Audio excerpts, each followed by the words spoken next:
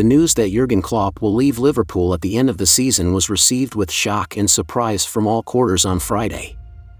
After nine years at Anfield, the German has decided to call it a day after running out of the energy required to do the job to the best of his ability.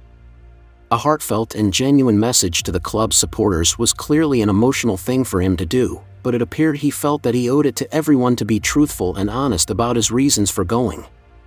Talk of who is to replace him in the hot seat has, perhaps unsurprisingly, overtaken social media chatter and kept the headline writers busy overnight. Many of those managers who have been in opposition to him have paid tribute to Klopp, with Pep Guardiola having a playful dig at the German. I am a little bit, he said after Man City's FA Cup win at Tottenham, quoted by the National. He's an absolutely incredible manager and I know I don't know him closely but he's an incredible person as well. I had a feeling that he's leaving part of us too at Man City as Liverpool have been our biggest rival in his years. Personally, he has been my biggest rival from when he was at Dortmund and I was at Bayern Munich. He will be missed, personally I will miss. I am pleased because without him I will sleep a little bit better the night before we play against Liverpool.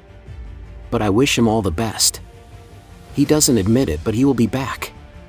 All the managers will when you've done many years, I feel it completely.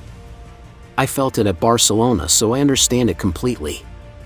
Indeed, the rivalry between Liverpool and City over the past few seasons has often been a joy to watch, with the matches between the two sides often providing moments of footballing magic.